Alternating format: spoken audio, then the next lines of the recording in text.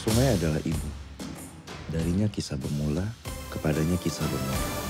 Anak-anak, hari ini kita akan belajar praktik membuat tirai mimpi. Kenapa tirai mimpimu kada kau gantung di rumah? Bapak pasti akan marah. Ulun di Sidin untuk jadi dokter.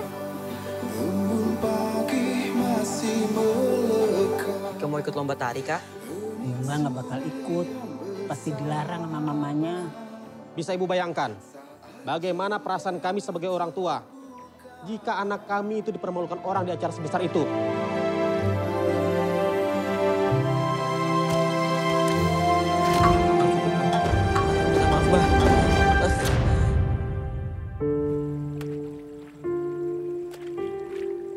Ibu Sungai Martapura, bawalah pensilku menjemput mimpi.